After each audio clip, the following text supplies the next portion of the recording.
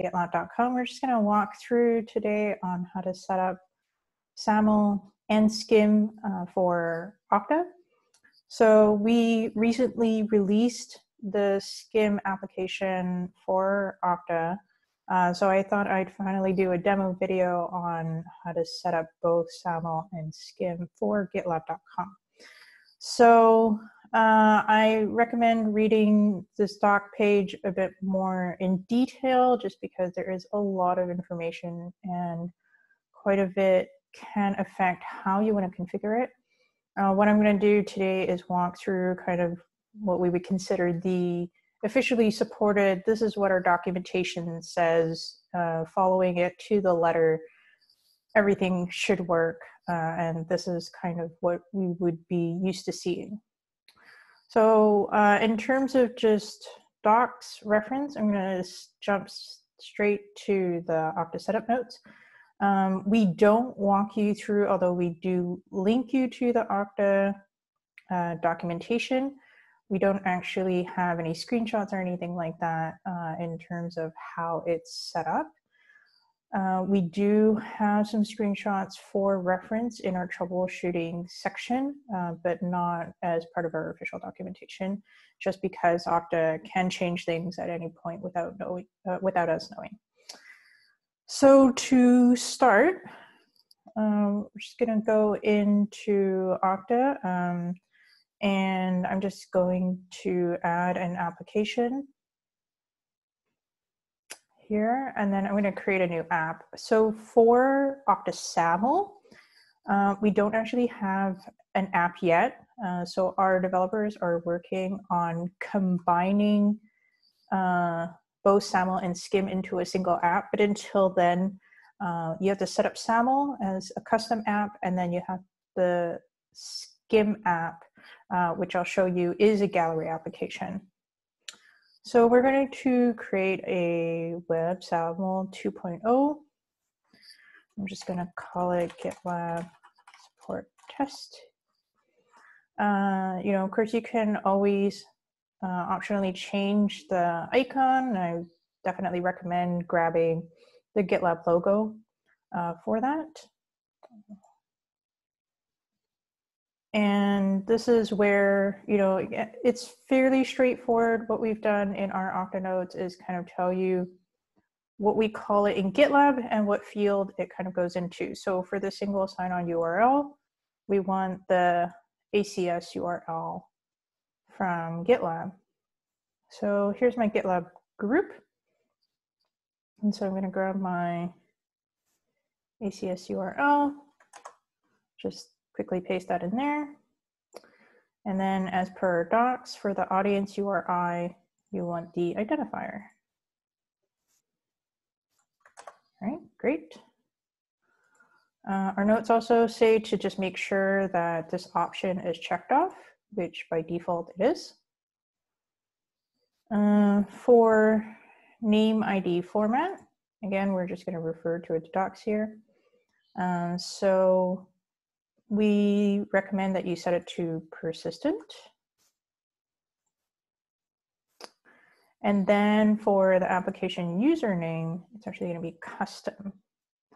Now what we do is we are going to actually grab the internal ID that Okta provides to users. So it's very common for SAML providers where you set up email. Unfortunately, at this time, because of the way that uh, our or the GitLab's group or GitLab.com specifically, SAML is implemented.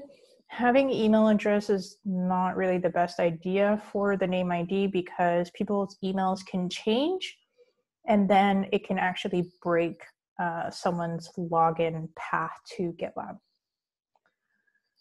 So that's actually all we have to do for the SAML setup. Uh, however, if you are planning to use group managed accounts, uh, which there's you know a whole section on what that means and what that does, so please check it out if you're interested in that. Um, but what we need to do if you are going to use uh, group managed account is to set up the assertions. So basically what we need is we need to say email is going to be obviously the user's email.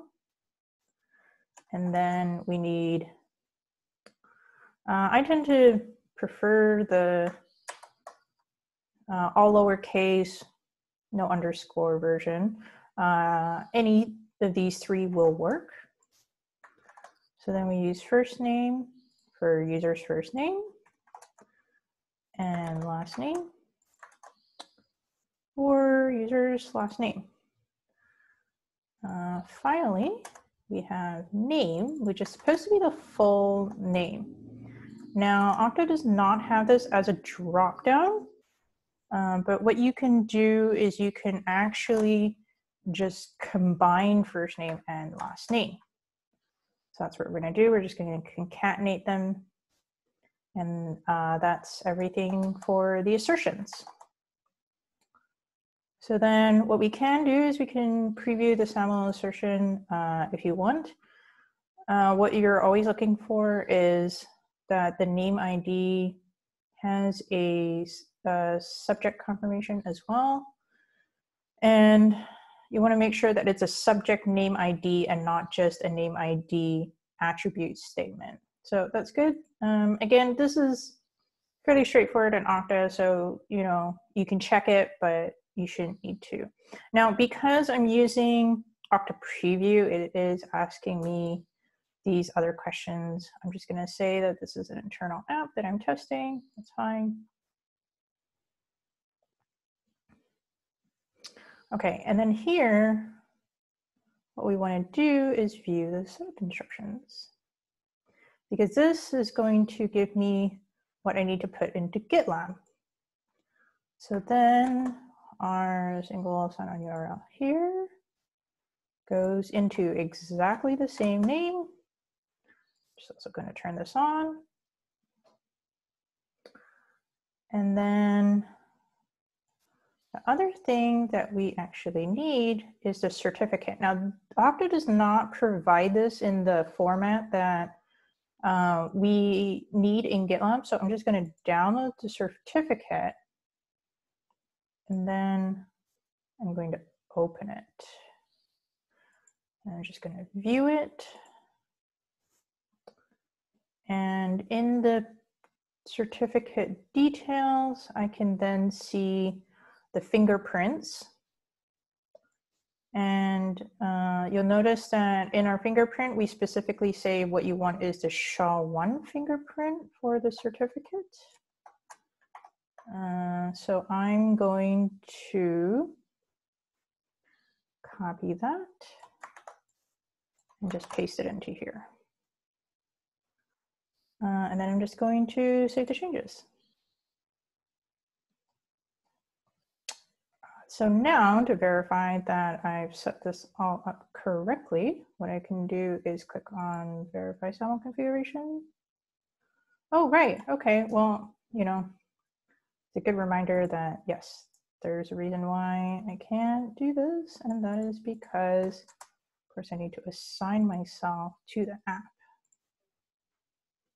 Um, I'm just gonna quickly add myself.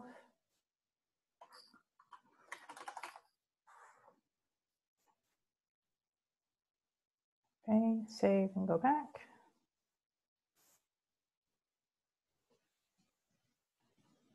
And let me just try that again.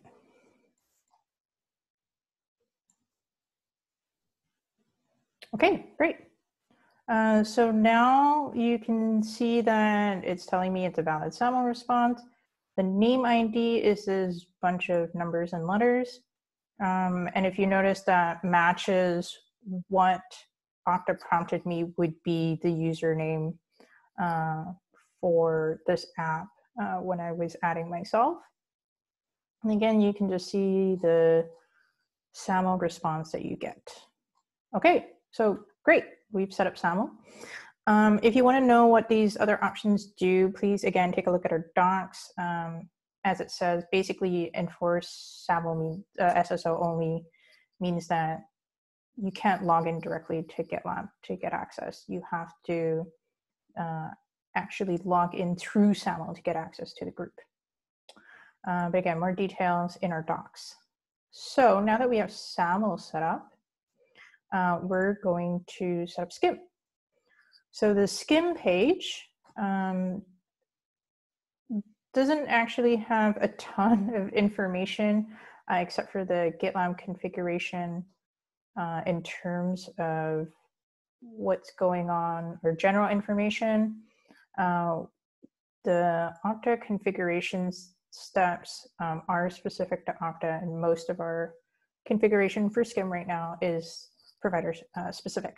So uh, interestingly, because SCIM is a gallery application, uh, it's actually even easier than setting up SAML because you don't have to uh, kind of configure anything yourself. So we're just going to go ahead and search for GitLab here. And then we want to add that. And then again, I'm just going to call it support test. And then we're going to check these off.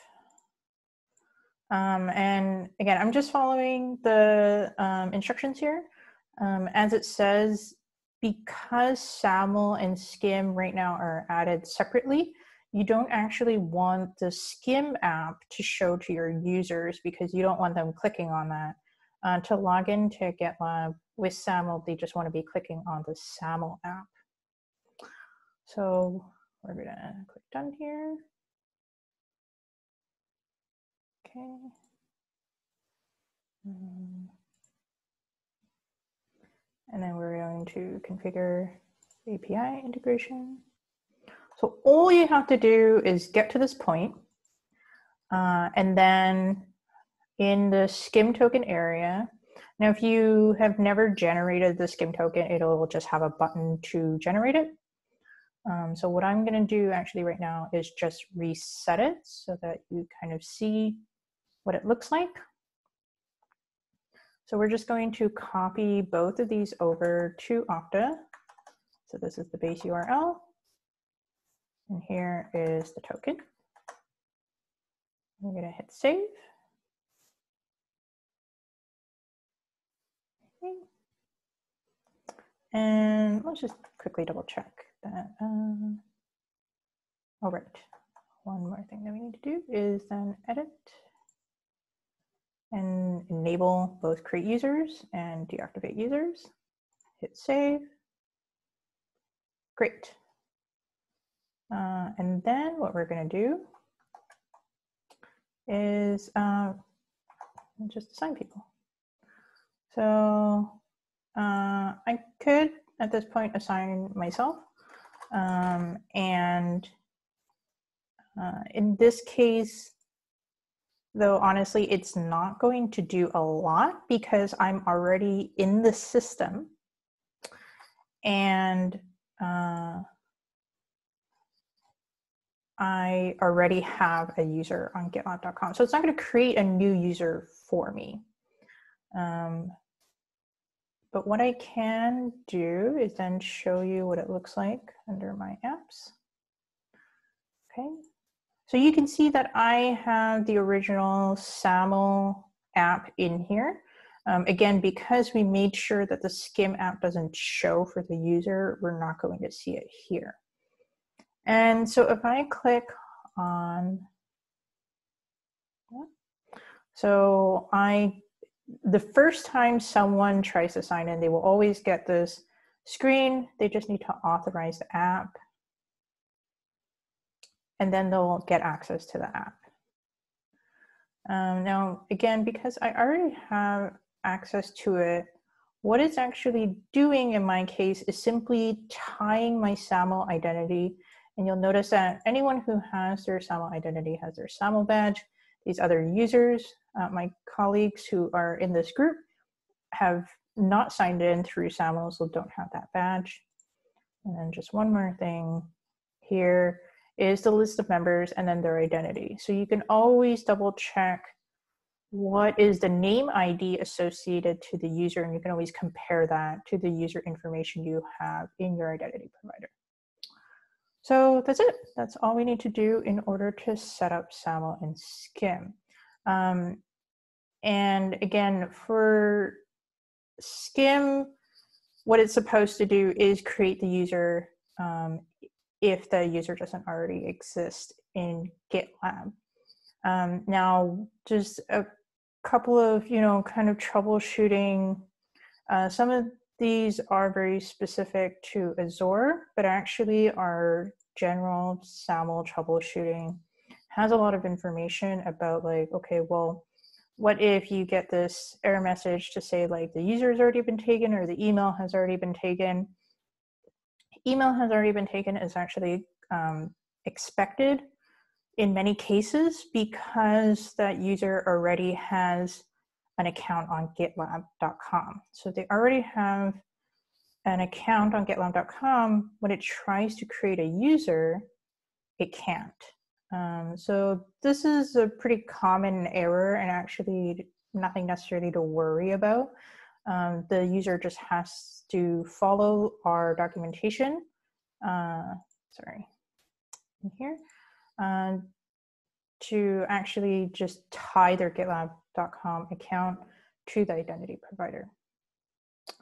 I also mentioned that there are screenshots, and there are. So under verifying configuration, uh, what we again have are screenshots that we use as uh, reference, and then for Okta, the SAML ones uh, are there.